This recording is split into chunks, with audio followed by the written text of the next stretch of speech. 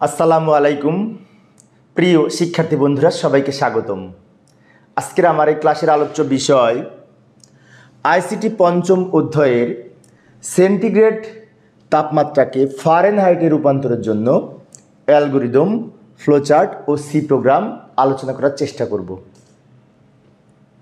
তো আলোচনায় তোমাদের সাথে আছি আমি মোহাম্মদ সিরাজুল ইসলাম, বরিশাল সরকারি model school and college Barishal.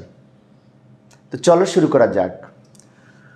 তো প্রথমে আমাদের জানা উচিত যে এই ফারেনহাইট সেন্টিগ্রেড এবং এই তাপমাত্রা পরিমাপের অন্যান্য একক সমূহ কী কী সেগুলো সম্পর্কে যদি আমরা লক্ষ্য করি তাহলে দেখতে পাই, তাপমাত্রা পরিমাপের প্রচলিত স্কেল সাধারণত তিনটি, যথাক্রমে সেন্টিগ্রেড স্কেল বা সেলসিয়াসের মাধ্যমে আমরা যে আবহাওয়া পরিমাপ করে থাকি ফারেনহাইটকে স্কেল, যেটি থার্মোমিটারে মানুষের তাপমাত্রা নির্ণয়ের ক্ষেত্রে ব্যবহার করা হয়ে থাকে এবং ক্যালভিন স্কেল তো এই ক্ষেত্রে প্রশ্নে অনেক সময় এই সেন্টিগ্রেড হতে ফারেনহাইটে রূপান্তরের বিশেষ করে পদ্ধতি যদি লিখতে বলে সি প্রোগ্রামিংয়ের মাধ্যমে, তাহলে আমরা কীভাবে নির্ণয় করব, তাই না?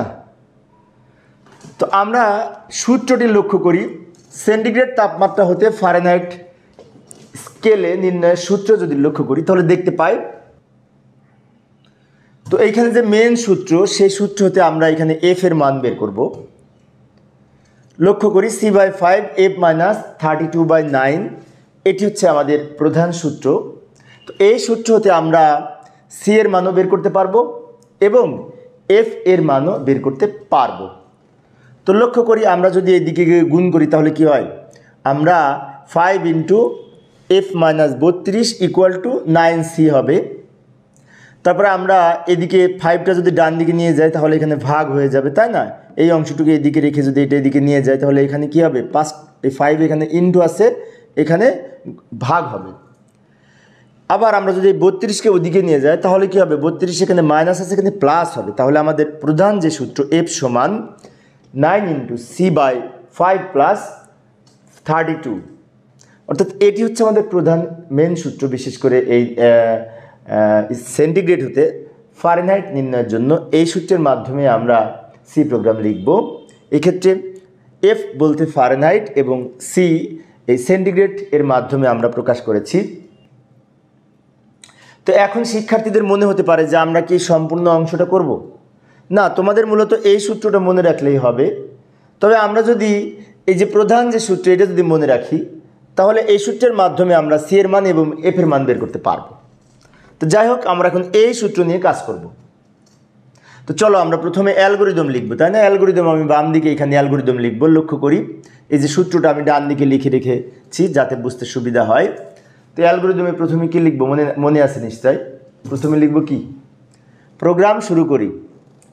তারপরে ইনপুট হিসেবে কিসের মান নিব? ইনপুট হিসেবে সমানের ডান দিকে আছে সি তাহলে সি হচ্ছে আমাদের ইনপুট। সেন্টিগ্রেড। তো এখানে লিখব সি এর মান গ্রহণ ইনপুট হিসেবে। এবং তারপরে তিন নম্বরে আমরা এই সূত্রটি লিখব। ধাপ তিনে কি করব? এই সূত্রটি এখানে লিখে দিব। তারপরে ধাপ চারে আমরা এফ এর ফলাফল এখানে নির্ণয় করব। শিক্ষার্থীদের অনেক সময় প্রবলেম হয়। বিশেষ করে আমি যখন কলেজে পড়াই, তখন লক্ষ্য করেছি শিক্ষার্থীদের একটি বিষয় লিখতে সমস্যা হয়, সেটি হচ্ছে সূত্রটা মনে রাখতে পারে। কিন্তু এখানে এ সি এর এখানে মান গ্রহণ ইনপুট হিসেবে কোনটা হবে এবং আউটপুট হিসেবে কোনটা হবে, এখানে লিখতে প্রবলেম হয়। তো বিষয়টি সহজ করার জন্য আমি বলছি সেটি হচ্ছে, সূত্রের ডান দিকে যেটি আছে এটি ইনপুট এটি উপরে যাবে এবং সূত্রের এই যে বামে, সমানের বাম দিকে যেটি আছে সেটা হচ্ছে আউটপুট এটি নিচে আসবে। বিষয়টি আমরা মনে রাখব লাস্টে প্রোগ্রাম শেষ করার মাধ্যমে এই পাঁচটি ধাপের মাধ্যমে আমরা অ্যালগোরিদম লিখতে পারি। এবার আসে ফ্লো চার্ট তো ফ্লো চার্ট শুরুর জন্য আমরা এখানে একটি প্রতীক ব্যবহার করব। এবং এর মধ্যে লিখব শুরু। আমরা ইংরেজিতেও লিখতে পারি। ইংরেজিতে যদি লিখি, তাহলে এখানে লিখব স্টার্ট এরপর একটি তীর চিহ্ন দিব, দেওয়ার পরে লিখব এখানে সামন্তরিক প্রতীক ব্যবহার করব। আমরা জানি ইনপুটের জন্য সামন্তরিক প্রতীক। সি এর মান গ্রহণে এখানে লিখব। এরপর আমরা এটা নির্ণয়ের জন্য আয়তাকার প্রতীক ব্যবহার করব। এবং এই আয়তাকার প্রতীকের মধ্যে আমরা এই সূত্রটি লিখব। পরবর্তীতে আবার আউটপুটের জন্য এই সামন্তরিক প্রতীক ব্যবহার করব। এবং এই অংশটা এখানে লিখব। পরবর্তীতে আবার আমরা প্রোগ্রাম শেষ করব। এইভাবে আমরা এই অ্যালগোরিদম এবং ফ্লোচার্ট অঙ্কন করতে পারি।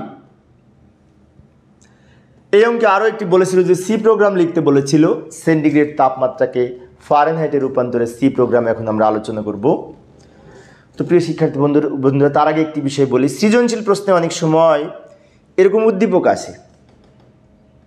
ফ্লোচার্ট আকারে উদ্দীপক আসে এবং এর ভিত্তিতে বলা হয় যে অ্যালগোরিদম লিখো। তখন আমরা এইটা লিখব। অথবা বলা হয় যে সি প্রোগ্রাম লিখো উদ্দীপকের আলোকে।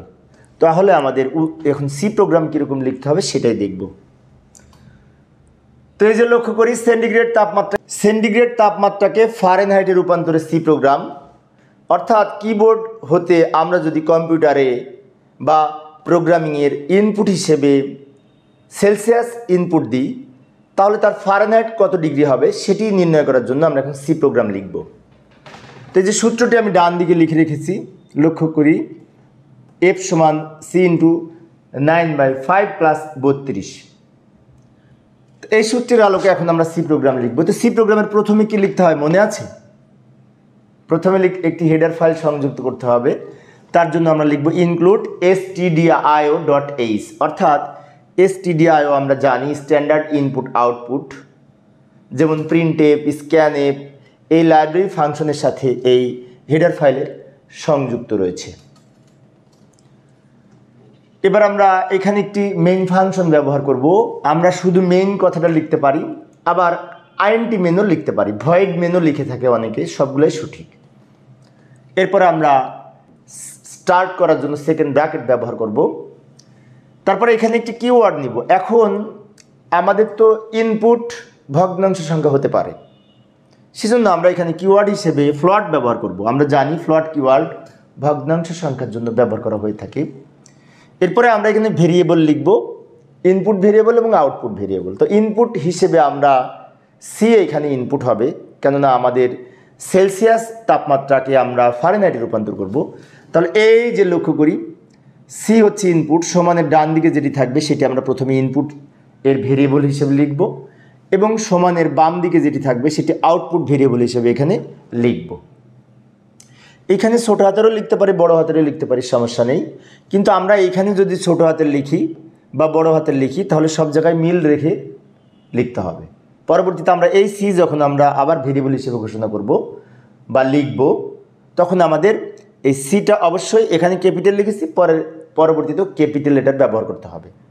যেমন, লক্ষ্য করি, এবার আমরা লিখব প্রিন্টের ফাংশনের মধ্যে আমরা লিখব ইউজারের কাছ থেকে সেলসিয়াস বা সেন্টিগ্রেডের মান গ্রহণ করার জন্য। আমরা এখানে একটি সেন্টেন্স লিখব, তো এখানে লিখতে পারি ইন্টার সেলসিয়াস টেম্পারেচার অথবা এখানে লিখতে পারি ইন্টার ভ্যালু অফ ইনপুট তাও লিখতে পারি, সমস্যা নেই। তো আমি ইন্টার সেলসিয়াস টেম্পারেচার লিখলাম, অর্থাৎ এখানে যেটি লিখব আমরা সেটি আমাদের আউটপুটে প্রদর্শন করবে।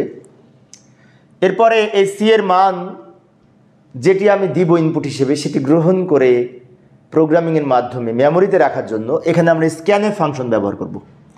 স্ক্যানে ফাংশন ব্যবহার করার পরে এখানে আমরা জানি একটি ফরম্যাট স্পেসিফায়ার লিখতে হয়। তো এই প্রোগ্রামের ক্ষেত্রে ফরম্যাট স্পেসিফায়ার হবে, লক্ষ্য করি।